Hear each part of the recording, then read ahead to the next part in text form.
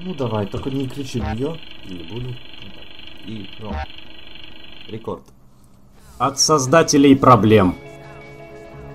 К 45-летию лицея Олегу Руссо При поддержке добрых, как я, людей и ток-шоу «Сам себе судья» представляет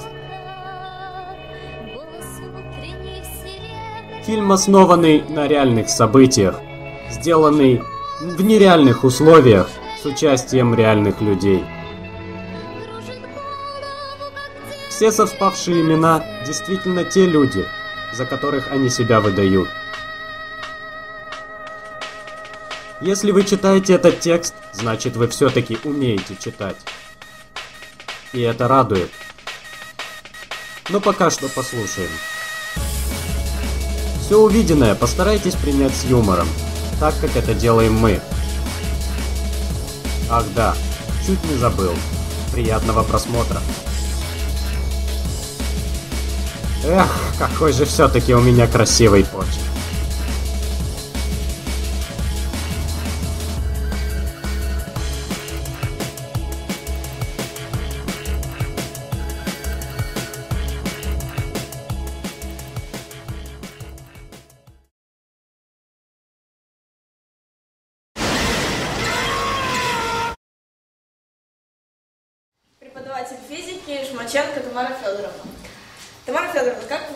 Встретили 2009 год?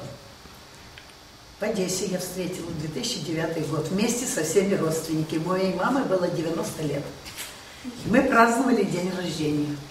Так что Новый год встретили великолепно. Надеемся, что этот год быка, желтого быка, пройдет тоже прекрасно. Мы тоже на это надеемся. А сколько лет вы преподаете в нашей школе? Я преподаю в вашей школе уже 16 лет. А вообще мой педагогический стаж 49 лет. Я 49 лет работаю, без перерыва я работаю в школе. 49 лет. А почему вы стали именно преподавателем физики? Ну, этот вопросик довольно такой смешной. Я не думала, что я буду преподавателем физики. Я вообще хотела быть инженером, химиком. Я очень любила химию и решала прекрасно задачи. А вот физика получилась так, когда я приехала в Кишинев, у меня специальность математика-физика. Но когда я приехала в Кишинев, мне дали преподавать физику. И я с тех пор неразрывно связана с физикой. Вот так случайно появилось, что я стала учителем физики. Хотя я физику тоже любила. И последний вопрос. Пожалуйста. Что вы думаете об изучении во время Второй мировой войны немецкими учеными четвертого измерения, основываясь на теории хаоса? Что я думаю? Я думаю, что это теория, которая не всем понятна, даже не очень понятна нам физикам. Это сложная теория, которая требует очень хорошего мыслительного изложения этой теории. Я до конца ее сама не понимаю еще, этой теории, потому что я ею не занимаюсь. Надо заниматься этой теорией, надо читать, надо с, с этой теорией быть продолжительное время связанной. А поскольку мы, учителя, очень загружены уроками, подготовками к урокам, проверками тетради, я не очень внимательно отношусь к этой теории. Поэтому я не могу вам сказать, что это для любого человека понятная теория. Это понятная теория, понятна только тем людям, которые занимаются индивидуально с этой теорией. Вот я о ней так думаю пока. Спасибо большое. Это Пожалуйста, была. Тамара Федоровна специально для Олега Курсов. Спасибо большое вам, ребята. Преподаватель истории Мунтяева Ирина Васильевна. Ирина Васильевна, первый вопрос. Что нужно Молдове, чтобы стать империей? Thank you.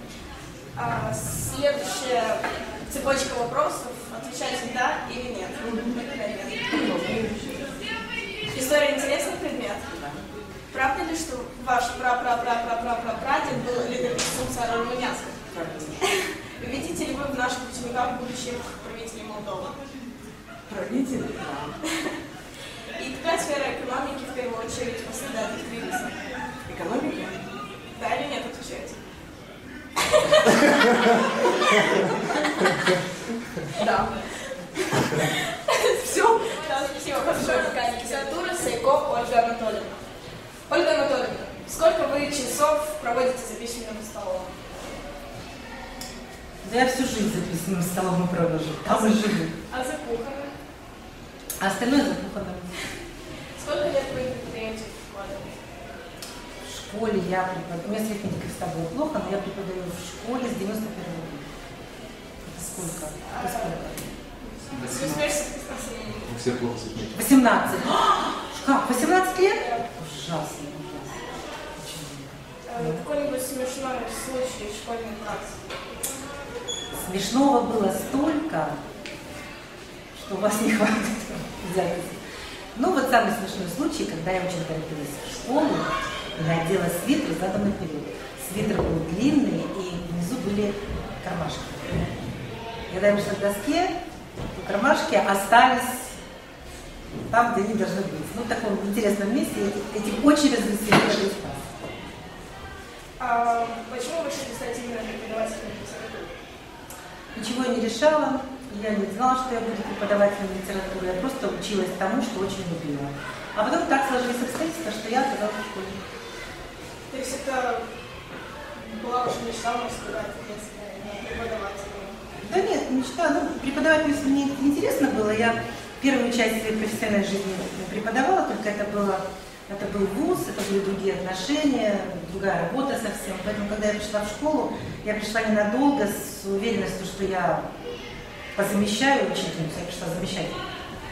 Ну, вот так осталось, потому что, ну ладно, длинный очень. А сейчас небольшой блиц-опрос, и на каждый ответ вам дается по 5 секунд. Ну, я не знаю, если. А, Подберите однокоренные слова, то есть мягкие сволочь. Галкин. Веди себя прилично. Подберите однокоренное слово из шести букв слова «утюг». Утюг? Утюжить, нет? Утюжный, нет, утюжный нельзя. Утюжить, наверное. Разутюженный. Но там больше... Я, я говорю, что у меня с математикой очень плохо, с арифметикой тоже. Я не могу считать. А, Посчитайте количество звуков в слове «систематизирующийся». Систематизирующий. Ну, много, да? Перестаньте, пожалуйста, меня мучить с арифметикой. Это совсем Хорошо. не... Выделите корень в слове «корень». Корень? Корень такой. Ну, корень, ну понятно, выделите корень. Вы не повторяйте мои знания, а выделите. Ну, я выделила корень. Как мне написать корень? Слово корень. Ну, корень. Выделите корень. Это корень. Ну, понятно, что корень. Так, это бесконечно. А теперь небольшой. Это была шутка. Ну да, какая легковерная. Я вот начинаю Окунемся в область литературы. окунемся. Окунемся. Обратимся к Толстому. На вопрос о содержании произведения романа «Война и мир». 25 мая 1915 года, когда Балконский возвращался с фронта, ему навстречу летела птица. Вопрос. Куда ехал Балконский? Что за птица летела ему навстречу? Уверены ли вы в том, что было 25 мая, а не 26 и какое время суток было? Вопрос сформулирован потому что ты назвала неправильную дату. Это не было в 1915 году. Это было в 1800, возможно, 15 И то не 15 а 13 Не поймаете вы учителя. Спасибо большое. На здоровье. Специально для преподавателя математики Макарчук Алевтина Станиславовна. Алевтина Станиславовна, с каким бы великим математиком вы бы хотели встретиться? Ну, наверное, с Рене Декартом. Почему? Потому что жизненный путь у меня такой, я мыслю, я существую, а это его цитата. Поэтому пока человек мыслит, пока работает голова, поэтому он и существует. Наверное, с ним. Сколько лет вы преподаете у нас в школе? Ну, по-моему, пять. А А вообще, наверное, лет ой, много 15. почему вы стали именно преподавателем математики? По совету.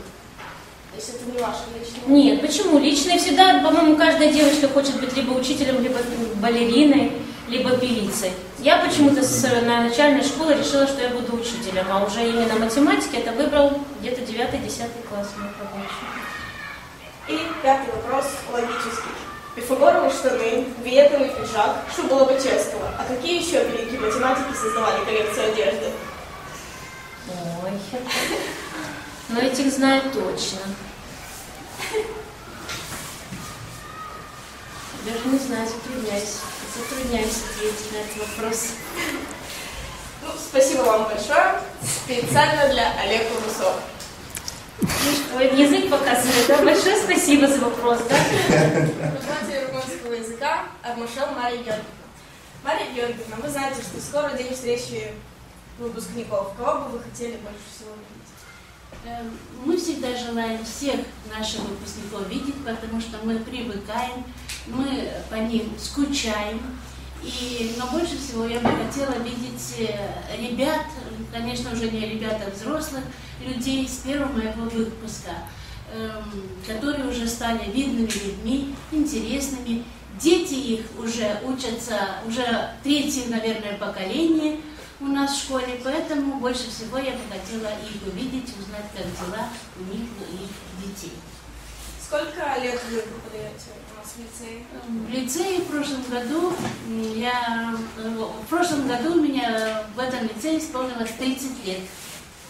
Значит, сколько выпусков, посчитайте сами, могло быть у меня.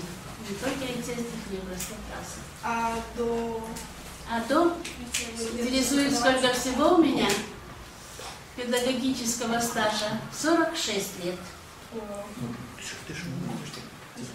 А самый смешной случай из, из, школьной жизни? Смешное. Ну, Может, Я не помню таких вот смешных, интересных, конечно. Вот интересного я могла рассказать много именно, э, а именно связано со вторым выпуском. Мы очень много путешествовали. Э, Мы провели даже круиз по Черному морю. Были в Киеве, в Москве. То, что э, сегодня не реализуемо. Ам, Нет, еще есть несколько вопросов. А почему вы стали именно учителем румынского языка? Вообще-то я не думала быть учителем румынского языка. Я много лет работала учителем музыки, но потом трудно было держать баян. И я хотела всегда быть на первом месте, а с хорами и ансамблями я стала не занимать первые места, и я решила оставить эту профессию и перешла, значит, закончила университет и стала учителем румынского языка. И последний вопрос. Сразу да, вопрос шуточный. Отсутствие всякой логики. То есть мы хотим узнать, как учителя умеют выкручиваться в неловких ситуациях. А, как вы думаете, если бы Минеску не написал Миорицу, это бы повлияло на творчество Друца? Я думаю, что не повлияло бы. Потому что э, Друце писатель, драматург. Но я думаю, что Друце, конечно, знает и балладу Миорица. А, это раз, Аннушка. А во-вторых, не Минеску написал Миорицу, нашел Руссо, а написал Александрин. Так вот именно, что вопрос без отсутствия логики, то есть он перепутал его. Вам было интересно, как учителя выкручиваются. А, Значит, я выкрутилась? Конечно. Ну, все. Все? Да, спасибо большое. Специально для Олега учитель биологии Антонова Галина Александровна. А, Итак, первый вопрос. Как вам сегодняшняя погодка? Погодка замечательная. Я думаю, что в душе погодка в первую очередь, а не на улице. А Сколько лет вы преподаете в школе? 22. Самый смешной школьный случай. Много было смешных. Честно говоря, не могу припомнить точно. Я думаю, что самое смешное это то, что учителя, наверное, тоже, как и дети, иногда радуются, что нет уроков. А почему вы стали именно преподавателем биологии? Именно биология это совершенно случайно. Я даже вот в школе никогда не могла подумать, что я буду учителем биологии. Я вообще в технику больше как-то... Я в своей жизни очень много э, перепробовала. Например, я была радиооператором в аэропорту. Да. Работала там, где самолетики взлетают. Вот. Потом я поступала, знаете, на факультет конструирования радиоаппаратуры. Но правильно сделали, что меня не взяли, видимо. Да, девочки, там вообще была одна девочка на весь э, факультет. Вот, наверное, так сло- сложилась судьба, и я решила, наверное, мне все-таки надо пойти в медицину почему-то. Не знаю, наверное, в течение жизни так созревают какие-то такие моменты в. Все меняется. А после медицинского училища я, наверное, передумала быть врачом и пошла в педагогический, ну, в университет. Вот такая история. Ну, как учитель биологии, один вопрос из курса биологии. Говорят, что миллионы лет назад на нашу планету попала маленькая молекула жизни. С годами она разделилась на две части, которые в наши дни мы называем просто ядерные эукариоты и доядерные прокариоты. В целях выживания они приспособились к таким простым вещам, как фотосинтез, гаметогенез, бластоцитовым излучением, ну и, конечно же, к миозу. Что было дальше? А дальше возник человек. Это самое ценное, что могла создать природа, такого интеллектуала. Поэтому я считаю, ура, человечество существует. Ура!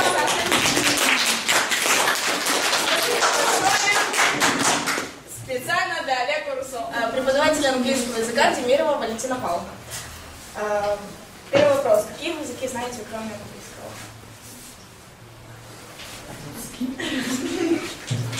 Нет, ну вообще, э, откровенно говоря, кроме русского английского, других языков не знаю. А, Строго. Сколько лет вы преподаете в школе? 1 сентября этого года будет 30 должники. О, ничего себе. Именно в этой школе, да? Да. А до этой школы? Ничего нет. Так, хорошо. А самый смешной случай школьной практике? Ой, ну это же очень сложно, самый смешной случай. Ну, первый, второй в голову. А? Первый, второй в голову придет. Любой. Не обязательно самый избиратель. Ой, вы знаете, я затрудняюсь. Ну, то есть, как смешной случай случается, посмеешься и забываешь. Ну, ну, не, не- не вспомню, не вспомню. А почему вы стали именно преподавателем английского языка? Ну, потому что, наверное, времена были другие. Чем еще можно было заниматься? Мне нравился язык, а где языком можно заниматься всерьез? То есть это было ваше желание? Это желание было, да, изучать и заниматься языком. Но можно было работать в интуристе, где языком ты практически не занимаешься. И можно было заниматься научной работой, чего делать очень скучно для меня. Осталось я при английской школе. Она тогда, между прочим, специализированная английская школа была. И английский здесь э, хорошо изучался. Так что И последний вопрос. Закончите логическую цепочку. Барак Обама, Советский Союз, Макдональдс, Гамлет. Шекспир.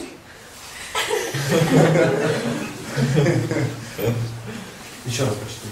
Барак Обама, Советский Союз, Макдональдс. Логическая цепочка.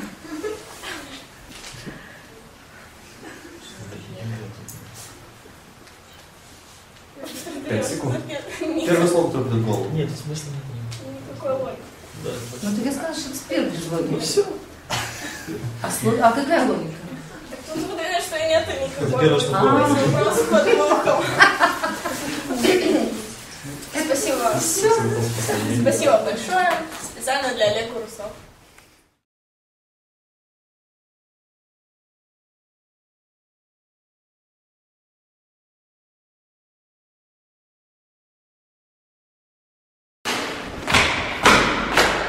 Проходи.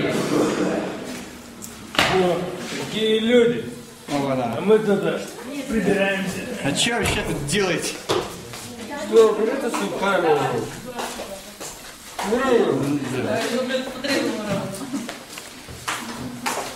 Вы что вообще обосновались тут-то? Что не видишь? Что Мы не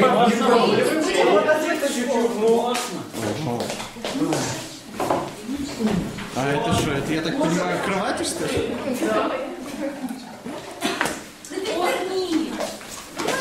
Я еще долго тут стоять буду. Что я тебе сказал? Ты вчера телек смотрел, смотрел. Успокойся. Нет, я не хочу музыку, я не понимаю. Влада, Влада. Ну, чаечек на ночь.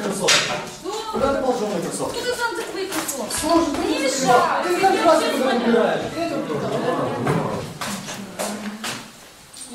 Да, ну, Не, они вторую раковину ставить собираются или нет? Нет, ты куда ты хочешь? Убери ты свою газету, задолбал. Так, а что делать? Ты Ну, еще сядь с этой газеты. Девчонки, а вы что вообще делаете? Да не мешай читать. Ну и все злые. Не мешайте движению. Да сколько музычку? Это вы, Шиванька, ты что, ко сну готовишься, что ли? Ну, конечно. А что я могу делать в 12 ночи? В среду? Там чайник только греется. Что ты хочешь? Ну? Вот, кстати, покажешь нашим учителям, как мы не опаздываем в школу. Ровно в 7 часов мы его вчера попросили, чтобы он дал звонок, и мы встанем. Вот так вот. У нас тем более первый урок. А какая она из Розовенькая, И зеленую захвати. Душу захвати, себе зеркало. Да, да, да, да. Вот что за это? А что, тяжело вторую Все, раковину люди, вы ли? мной в душ. Прости, Я не сразу. уже два раза просили. Я тут причем долго мою зубы. А паста есть одна? Нет, закончил. Закончилась? Мылом мою. А чем я посуду мыл вчера по-твоему? Блин, я вообще ничего не В душе опять горячей воды нет. А кто сегодня ужин готовит? Аня, ты сегодня Ужин. А, да, конечно. Ладно, Леш, ты, в общем, не обижайся, нам пора спать завтра к первому уроку. В общем, все, давайте. Все. О, удачи, чувак. Удачи. Давай, давай, Давай. Всё, спокойной ночи. Пока.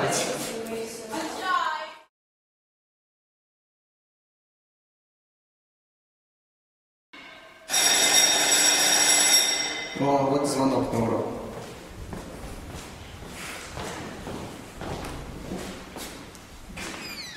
Да.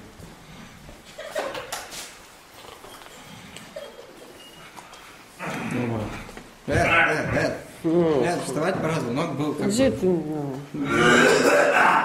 Ой, боже, что Да, давай вставай, говорю, звонок был. Я к третьему уроку жду. К какому третьему уроку первый? Давай, сейчас придет учитель. Эд.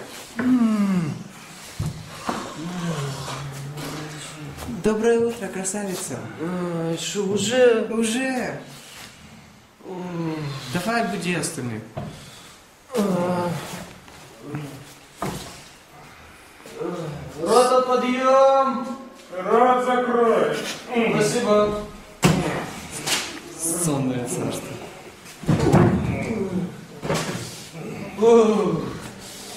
Опять газ отключили? Свет. Э, взрывайте ее. Да вырубай свет. Эй, у нас контрольный на втором уроке. Выключи свет.